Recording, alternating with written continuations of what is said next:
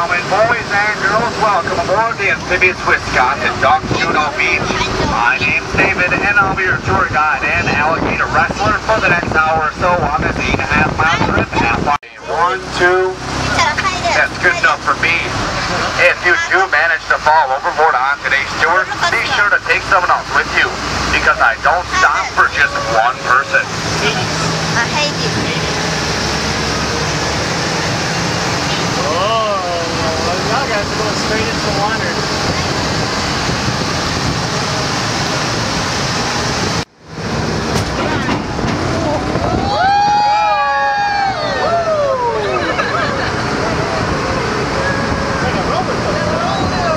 The black fern, the white fern, the red fern, the green fern, the blue fern, the fern, the orange fern, the repeating fern, the repeating fern, the interrupting fern, the repeating fern, and the almost never seen off to the left here, the invisible fern.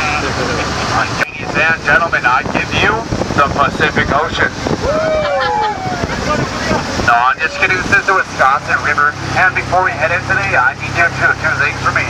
With one hand, brace that seat back in front of you. And with the other hand, plug your nose. Yeah! You ready, guys?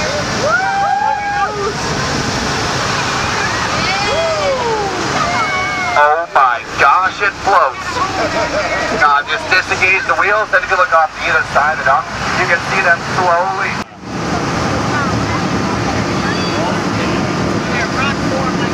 Yeah. Middle of the Pacific Ocean. Pacific Ocean.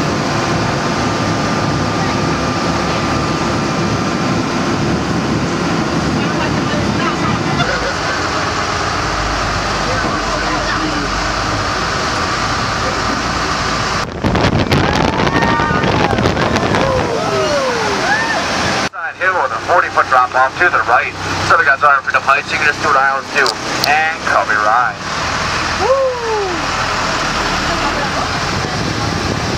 He's not, looking. Driving.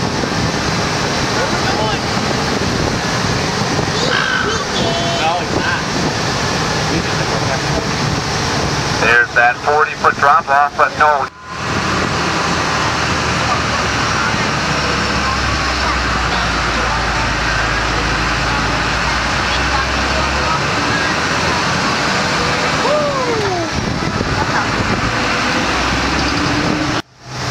Oh my goodness. I was coming down this trail yesterday and I saw forest fire swept through this area, destroying all in its path. And Miss Helen Robbie died so much she was decided to plant these pine trees the most natural way she knew possible. Completely straight road. breach occurring and its aftermath.